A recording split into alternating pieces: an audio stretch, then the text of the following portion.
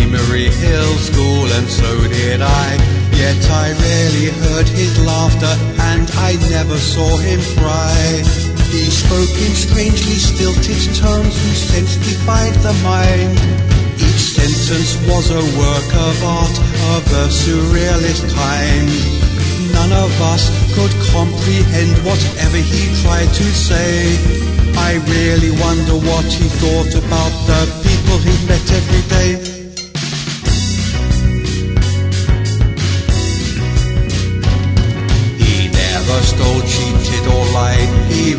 Was a decent lad. Yet he must have been the strangest pupil that we ever had. He did kickboxing every week and homework every night. But though he tried to make friends, he just could not do it right. Although we often saw him work, we rarely saw him play. I really wonder what he thought about the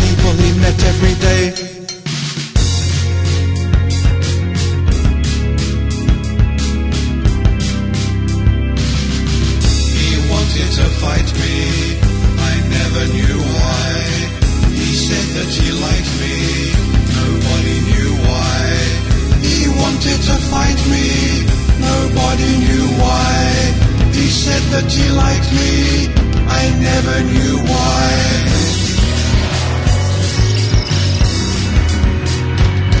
He soon acquired a reputation all around the school as a lad obsessed with sex which certain boys considered cool.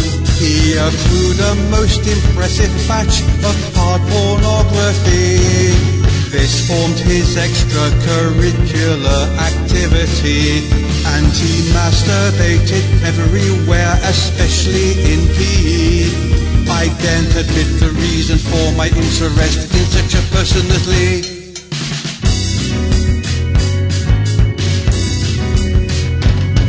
He sauntered round the villages in ankle I was so glad he could not read my thoughts. The terror tarts were merciless, the local girls were cruel. Unlike certain other girls who fancied him in school, where his physical appeal countered his eccentricity. So I daren't admit the reason for my interest in such a person as Lee.